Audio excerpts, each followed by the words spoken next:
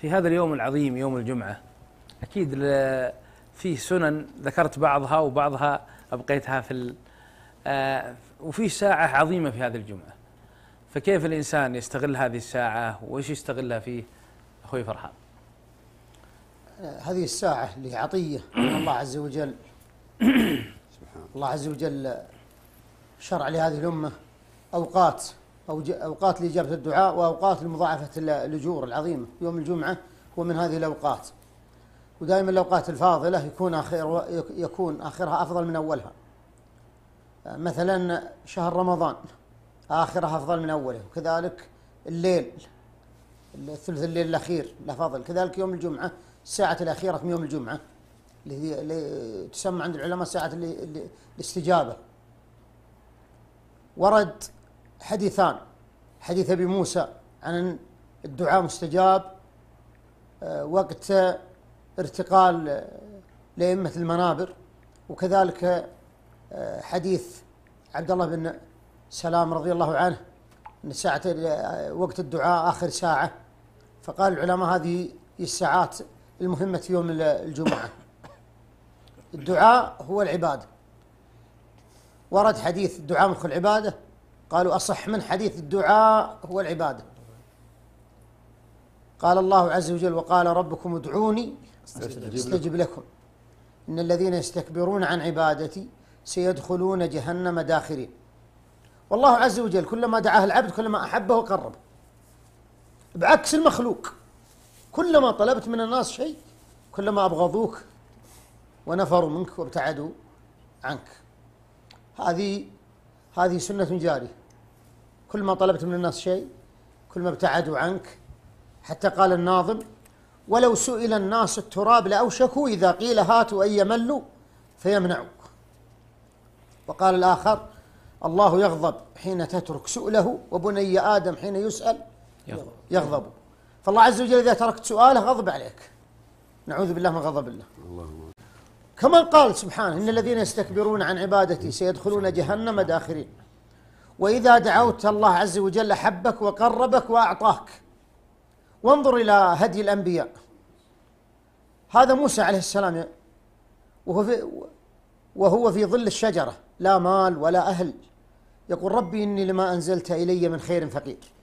وما حدد ما قال زوجة ولا قال مال ولا أظهر فقره ورفع قضيته إلى الله عز وجل. ونعم بالله. ربي إني لما أنزلت إلي من خير فقير. قل هذا الدعاء أيها المسلم. وكرره في آخر ساعة من الجمعة أو في سجودك أو في أي وقت في أي وقت وحين. كرر هذا الدعاء. هذا الدعاء من الأدعية التي وردت في القرآن الكريم. ودعاء دعا به نبي وأجابه الله عز وجل رزقه الزوجة والنبوة أعظم من من كل شيء. ربنا آتنا في الدنيا حسنة وفي الآخرة حسنة وقنا عذاب النار. اللهم من كان عقيما دعاء آه، زكريا عليه السلام. ربي لا تذرني فردا وأنت خير وأنت خير الوارثين. وكذلك من كان أعزب أن الله عز وجل يزوجه بعضهم يسمي دعاء موسى عليه السلام يقول الدعاء أو الدعاء الزواج. لأنه تزوج بعد ذلك موسى عليه السلام كما في قصة آه، شعيب ومدين القصة الم- المعلومة المعروفة. ربي إني لما أنزلت لي من خير فقير. نعم. ربي إني لما أنزلت إلي من خير فقير. كان ابن تيمية يردد أنا الفقير إلى رب السماوات أنا المسيكين في مجموع حالاتي الفقر لي وصف ذات. لازم أبدا كما الغنى أبدا وصف له ذاتي أنا الظلوم لنفسي وهي ظالمتي. والخير إن يأتنا من عنده ياتي وهذه الحال. حال الخلق أجمعهم وكلهم عنده عبد له آتي. فمن بغى مطلبا من غير خالقه فهو الظلوم الجهول المشرك العاتي. بعضهم يدعو غير الله. يترك الخالق ويدعو المخلوق. يترك الغني ويدعو الفقير. سبحان الله. وهذا من من الشرك. الله عز وجل قال قال سبحانه وأن المساجد لله فلا تدعوا مع الله أحد أحدا. وقال الله عز وجل قل إنما أدعو ربي ولا أشرك به أحدا. فإذا ركبوا في الفلك دعوا الله مخلصين له الدين فلما نجاهم إلى البر إذا هم يشركون الله عز وجل ما قال ادعوا فلان ولا فلان ولا اتخذوا بينكم وبين الله عز وجل وسائط. هذا هو فعل مشركي قريش والذين اتخذوا من دونه أولياء ما نعبدهم إلا ليقربونا إلى الله.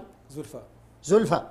وإذا سألك عبادي عني فإني قريب أجيب دعوة الداعي إذا دعان فليستجيبوا لي وليؤمنوا بي لعلهم يرشدون. خير الكلام ما قل ودل ولم يطل في خير. ما شاء الله تبارك الله. آه، كفيت ووفيت وما شاء الله. آه، الله سبحانه وتعالى يزيدك ويبارك في علمك يا أخوي فرحان ما شاء الله. آه، من الأدعية هذه صراحة رجعتني عشرين سنة أو أكثر اللي هو دعاء الزواج. أتذكر ذاك الأيام كان أحد الشباب قال لي تبي الله يزوجك؟ ادع هدع هذا واظبت عليه. ها؟ واظبت عليه. أوه والله ما ضبط عليه. ليه, ليه؟ الله سبحان الله في بعض الأحيان في بعض الحديث آه، يتذكر الإنسان بعض المواقف وبعض القصص. يعني آه، لما فتحت هذا الباب الله يسعدك. معنا في برنامجنا جمعية عروة. لها حق علينا جمعية عروة أن نتكلم عنها وهي جمعية تهتم برعاية الأيتام والمساكين والأرامل. والنبي صلى الله عليه وسلم صلى الله عليه وسلم. آه، وصانا بالأيتام والمساكين والأرامل. حتى قال النبي صلى الله عليه وسلم